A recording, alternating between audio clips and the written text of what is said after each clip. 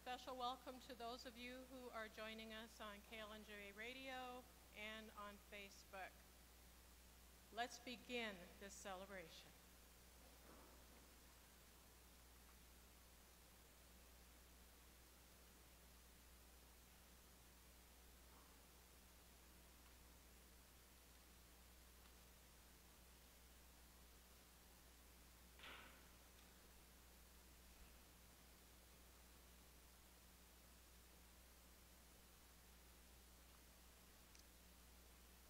Hope, peace, joy, and love. Four candles, four promises continually offered to us by God, and all of them manifest in this one we light tonight, the Christ candle. In Christ we find the hope of transformation, the peace that follows justice, the joy of self fulfillment in community, and the love that encompasses us in all our diversity, empowering us to make our own unique contribution to this world. In Christ we find light and life and the courage to be like Him, answering His call and following in His footsteps.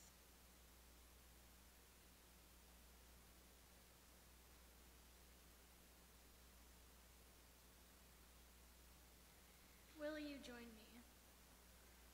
We We rejoice. rejoice in God's steadfast presence in our lives and in God's unique presence in the life of Jesus of Nazareth, born of Mary, growing through childhood into an adult ministry, in all his life manifesting the peace, love, and justice of God. His voice undimmed by the centuries, his call and his promise as clear to us as it was to his disciples so long ago. Come to us, Lord Jesus.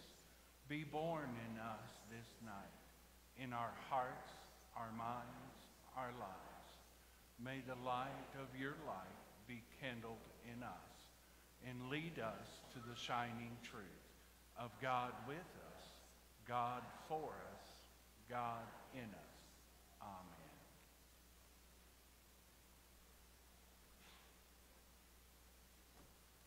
Let's join together in this celebration as we sing our first hymn, number 234, O Come, All Ye Faithful. We'll be singing verses 1, 3, and 6. Please stand if you are able.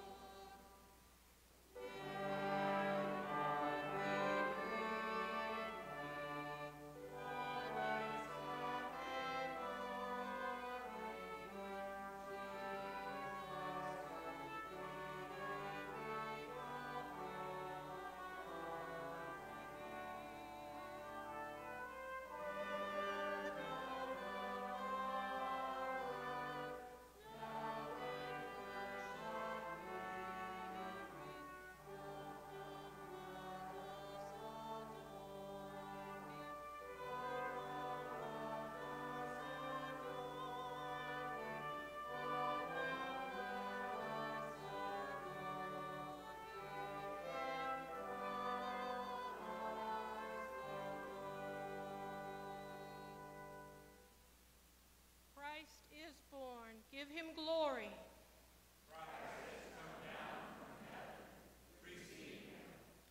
Christ is now on earth. Exalt him.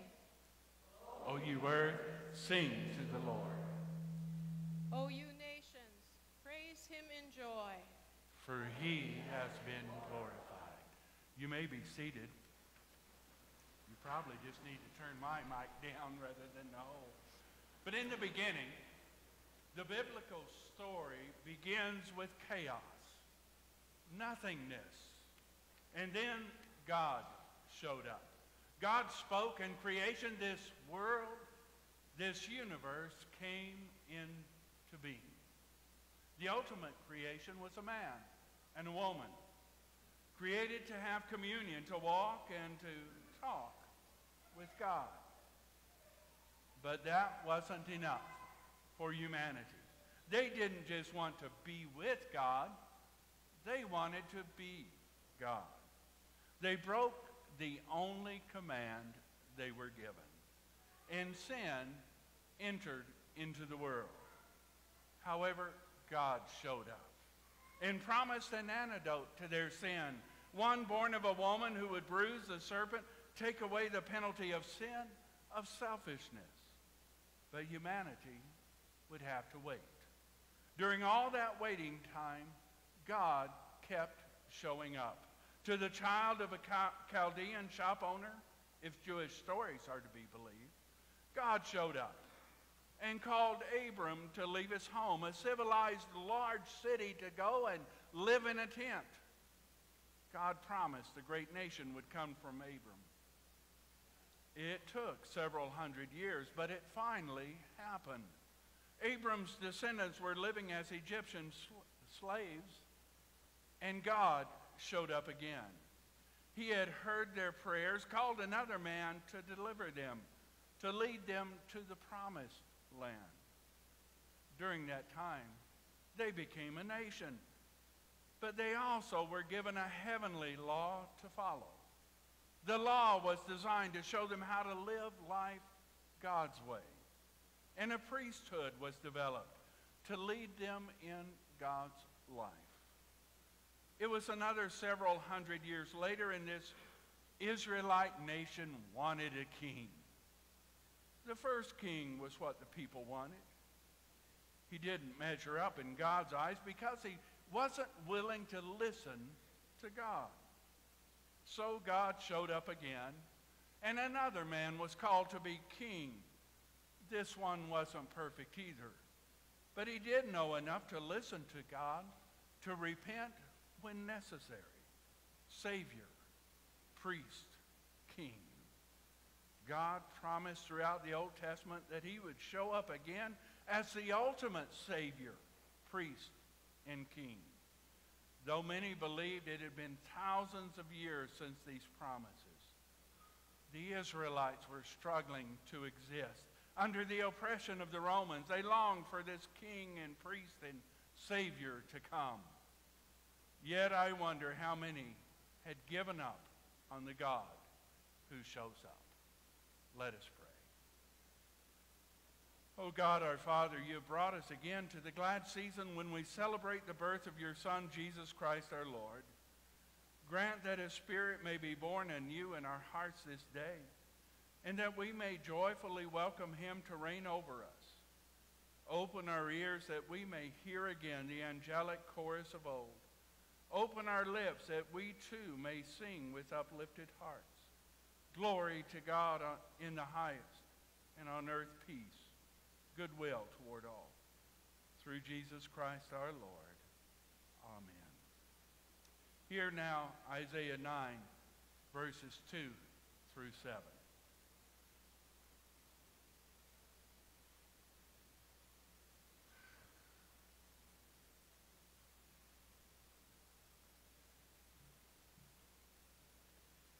People who walked in darkness have seen a great light.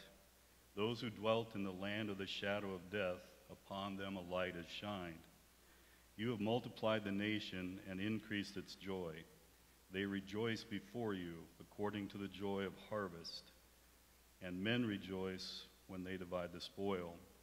For you have broken the yoke of his burden and the staff of his shoulder, the rod of his oppressor, as in the day of Midian.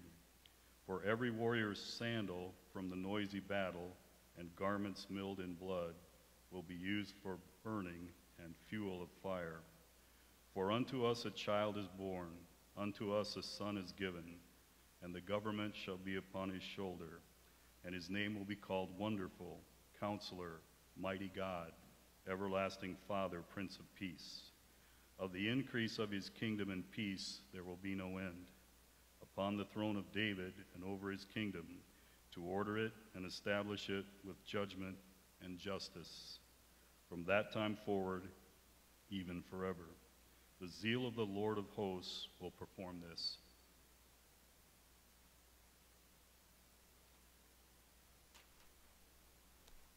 Let's continue in our celebration with song with number 219, What Child Is This?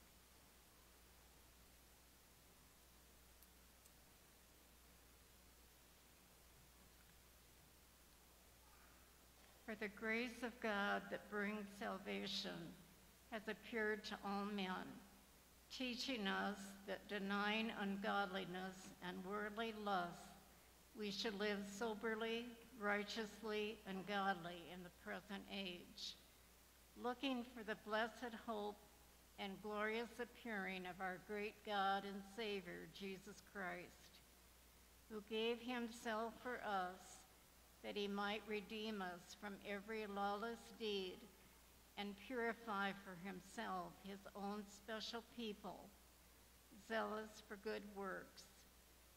Speak these things, exhort, and rebuke with all authority. Let no one despise you. Our next hymn to join in singing together is number 238, Angels We Have Heard on High.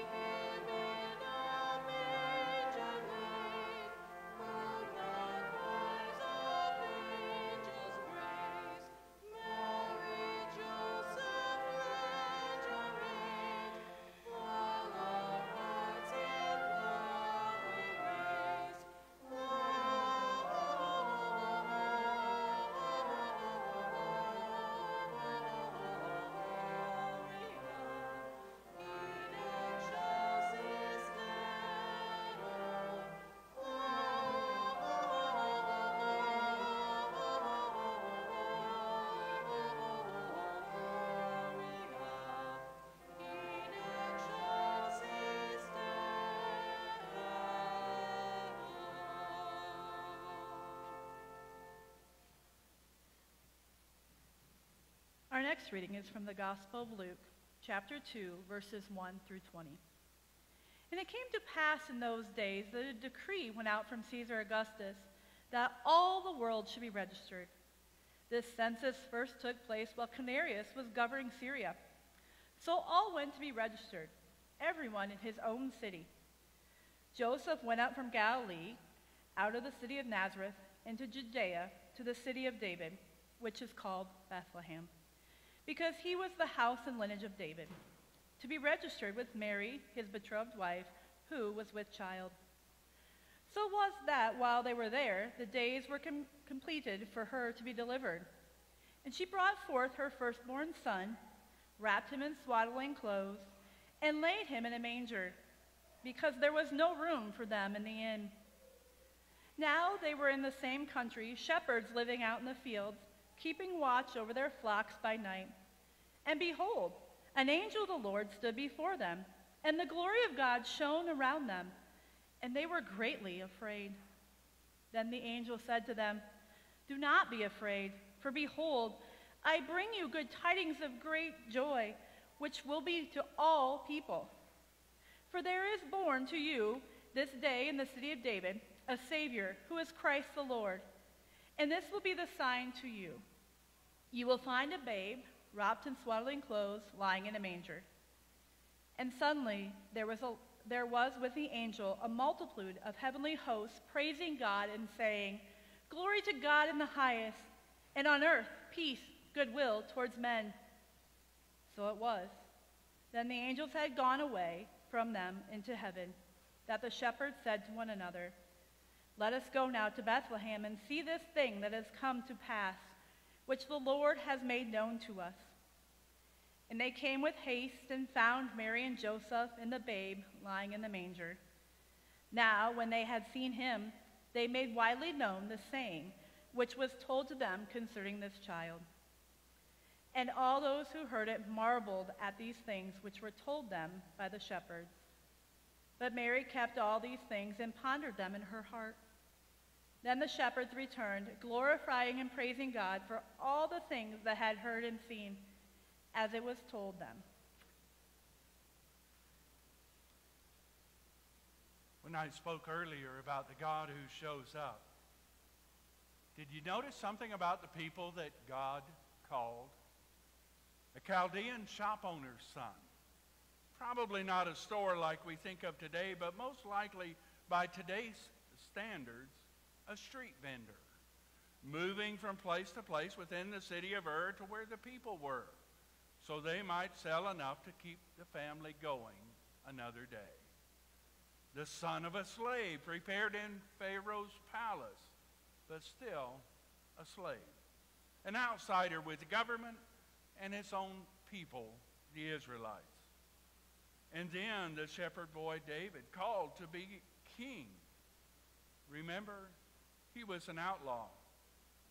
And after being anointed king, before finally becoming the king, these were not perfect, nor wealthy when they started out. They were just willing to say yes when God showed up and called them. This Advent season, we've taken a closer look at others to whom God showed up.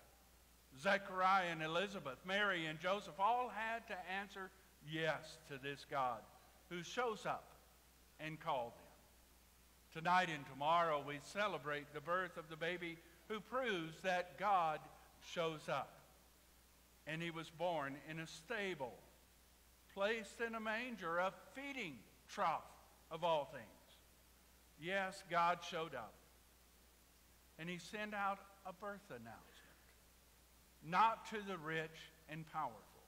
Remember, the Herodium was right there, visible from anywhere in Bethlehem, but God didn't send the announcement to King Herod.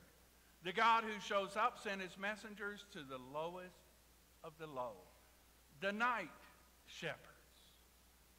From the moment he was born, he was humbled. The Jews were looking and praying for a priest, a king, a savior. The God who shows up showed up for the humble, the lowly. God always comes for those who are humble to lift him up.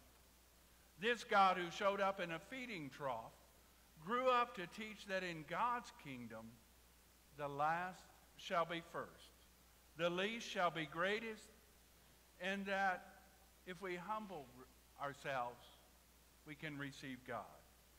Are we paying attention? There's a song in the air.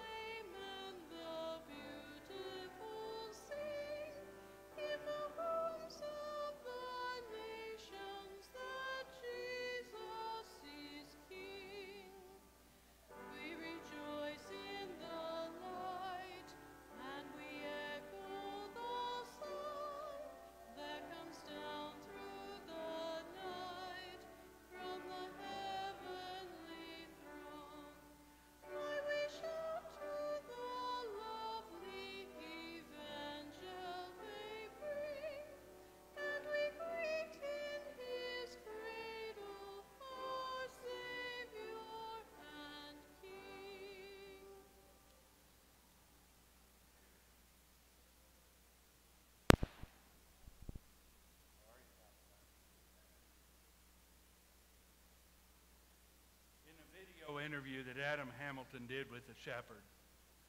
The shepherd said, Sheep eat from the manger. I have already said more than once that it was a feeding trough that the baby Jesus was laid in when he was born. Also, remember that this was in Bethlehem. If you've read the journey from which our series, Advent series of sermons came from, or maybe you've heard it from uh, other sources, Bethlehem means house of bread. Farmers in the area grew the ingredients. There would have been millers who refined the crops. There would have been bakers to bake it. And in all likelihood, it would have been taken a few hours journey to Jerusalem to be sold and or used in temple worship. Later, when speaking to the religious leaders of his day, Jesus drew on this heritage to declare, I am the bread of life.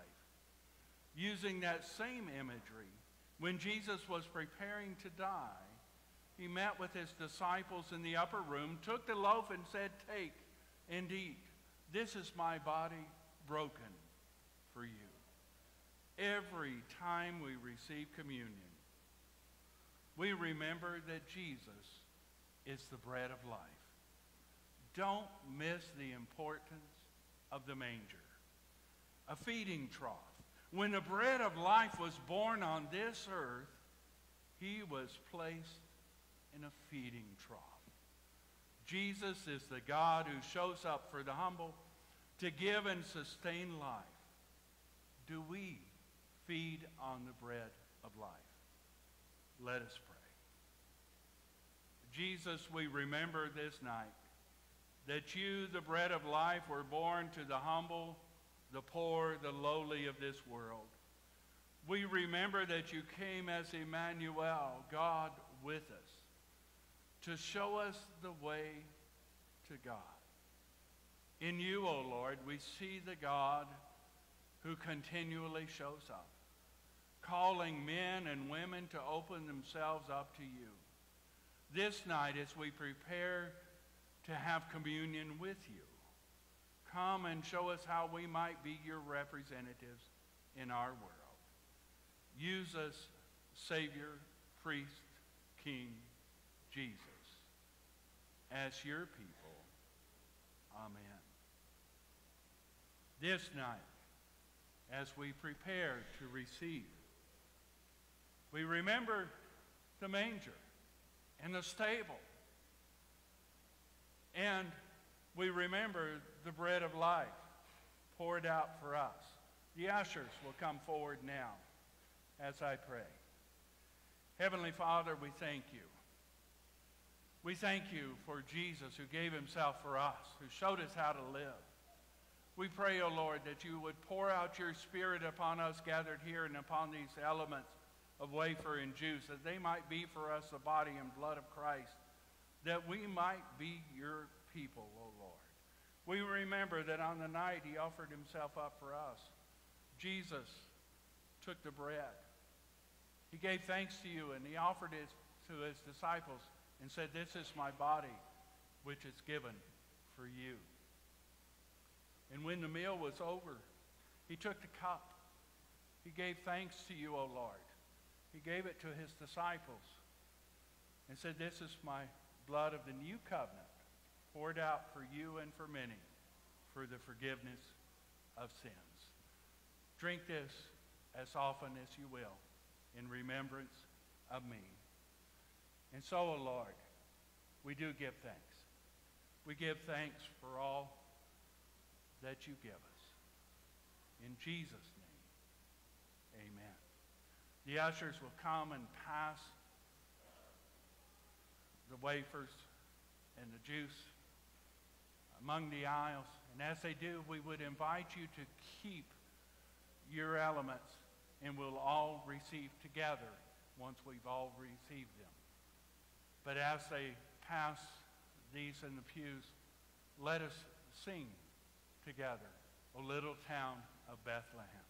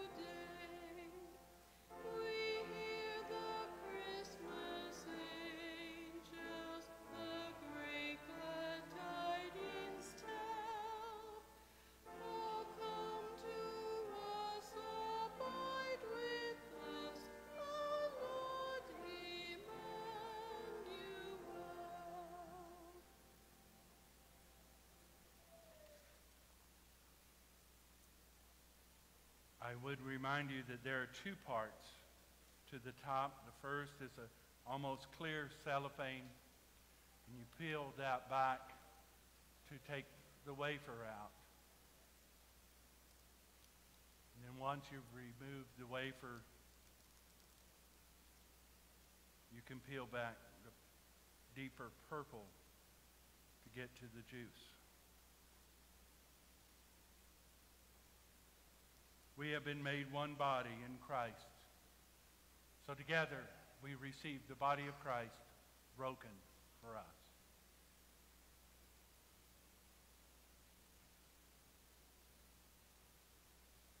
It is through the matchless blood of Christ that we have all been brought into the family of God.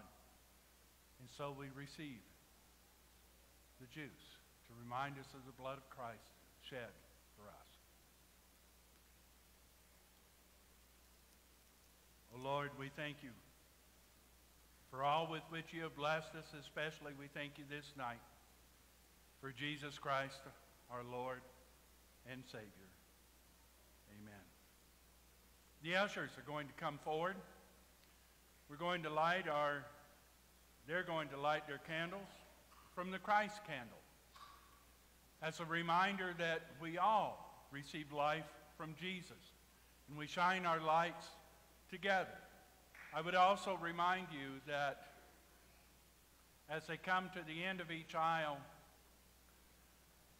that the one with the flame not turn their candle, but rather hold it straight and let those who are lighting their candle then